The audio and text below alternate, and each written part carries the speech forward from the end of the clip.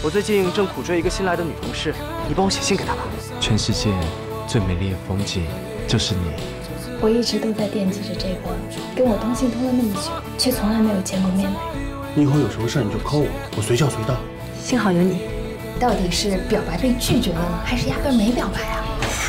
我哪配得上人小泉小姐？这是我误会了，他跟我求婚了。